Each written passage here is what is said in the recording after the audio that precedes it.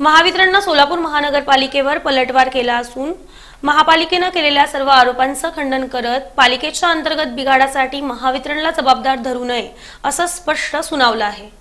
गेल्या महिनाभरापासून सोलापूर महापालिकेच्या हद्दीत कधी काळं पाणी येतं कधी हिरवं तर कधी पिवळं. पाच सहा दिवसाआड होणारा पाणी पुरवठा तीन दिवसाआड करण्यामागं महापालिका वीज पुरवठ्यातील व्यत्ययाचं कारण पुढं करून महावितरणवर खापर फोडून हात वर करत आहे. मात्र महावितरणनं या सर्व आरोपांचं खंडन केलं आहे. सोलापूर शहराला उजनी धरणातून पाणी पुरवठा होतो. त्यासाठी उजनी धरणासह आठ ठिकाणी उच्चदाब वीज जोडण्या आहेत. गेल्या काही दिवसात विजेच्या कडकडाटासह अवकाळी पावसानं थैमान घातलं होतं. शेतकऱ्यांना जसा या अवकाळी पावसाचा फटका बसतो तसाच तो वीज यंत्रणेलाही बसतो. आठ आणि नऊ एप्रिल रोजी असाच तडाखा बसला. उजनी पाणी पुरवठा भीमानगर येथील योजनेला वीज पुरवठा करणाऱ्या तेहतीस के व्ही वीज वाहिनीवर वीज पडली. विजेच्या कडकडाटानं वीज खांबावरील इन्सुलेटर अर्थात चिमणी फुटली. अशा आपत्कालीन परिस्थितीतही महावितरणच्या कर्मचाऱ्यांनी अख्खी रात्र जागून काढली. खराब झालेले इन्सुलेटर बदलून वीज वाहिनी सुरू केली. या ठिकाणी महापालिकेकडं पर्यायी वीज पुरवठ्याची व्यवस्था नाही.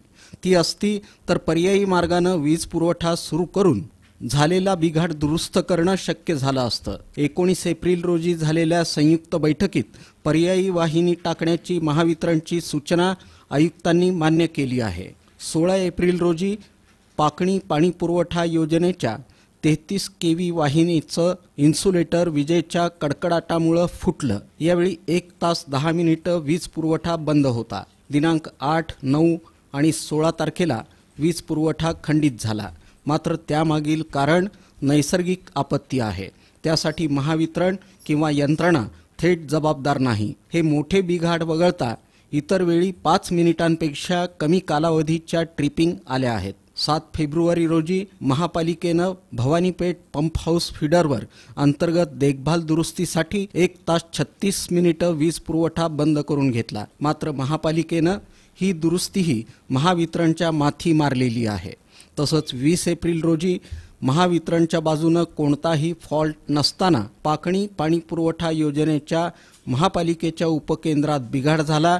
या बिघाडाची संपूर्ण जबाबदारी महापालिकेची आहे.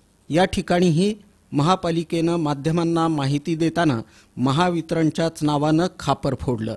अखंडित वीज पुरवठा करण्यासाठी महावितरणची संपूर्ण यंत्रणा कायम तत्पर असते. त्यासाठी यंत्रणेच्या देखभाल दुरुस्तीची कामं वेळेवर करावी लागतात.